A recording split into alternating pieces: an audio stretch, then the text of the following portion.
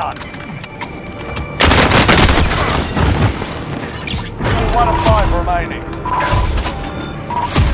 The enemy took that one, but we'll be back to finish the job.